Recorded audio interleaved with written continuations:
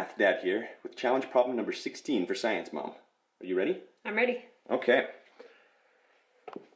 In this problem, I'm calling it the magic triangle. I'm giving you nine numbers, one through nine, and a little figure here.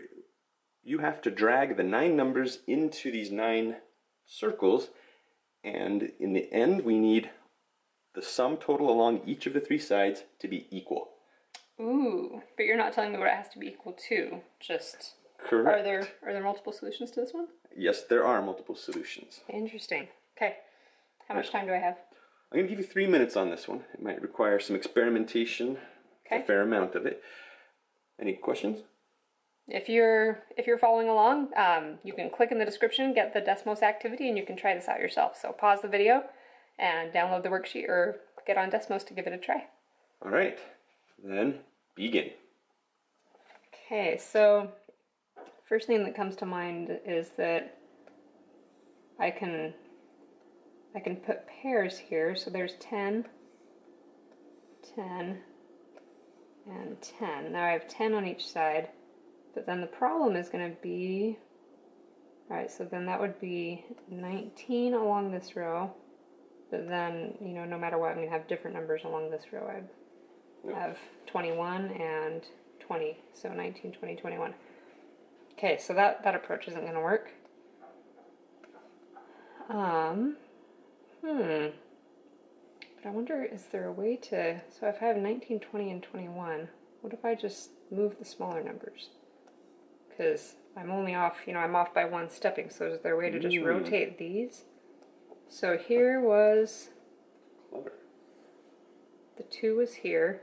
This was 19, and I want it to be bigger. So if I put the 3 here, that gets me one bigger. Um, the 1 was here, and this was my row of 20. And I want that one to stay the same, right? No. Hold on. Let me. Don't. Don't. No hints. No hints. Um, and now I'm wishing my arithmetic skills were faster because I feel like I can't talk out loud and add in my head at the same time. um, all right, hold on. We have we have 20, and I want to get 20 on each side.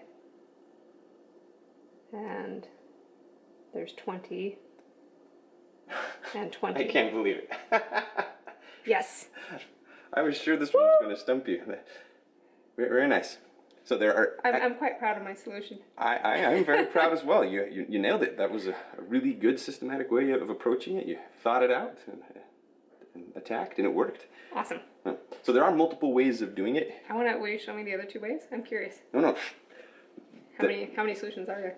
Uh, so there are 18 ways to complete the puzzle, and that's if you ignore any rotations or, it- like for example, if I swap the one and the nine, I mean Yeah. that, that's not really a new solution, right? Got you.